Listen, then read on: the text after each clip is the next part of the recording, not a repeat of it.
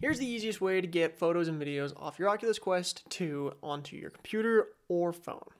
So let's say you just took a really nice photo and you want to get it onto your phone or just off your Quest in general. So um, you just took this awesome photo and what you're going to want to do is you're going to want to go to this files application that's in your apps. Um, if you don't see it, go into these Oculus apps and it'll show up right here. Open up files and you'll have to quit out of whatever app you're in. And then all you got to do is come in here and make sure that this little cloud thing is looking like that. That will make sure that all these photos are synced to the cloud, which means you'll be able to access them on your phone. So let's go over to the phone now and see what it looks like on this side. See? Synced. Let's go check it out.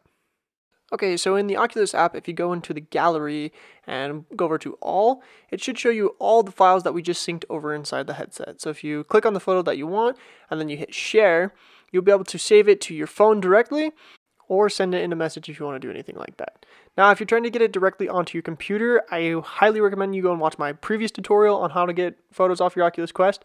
But other than that, guys, that is the tutorial. Thanks so much for watching.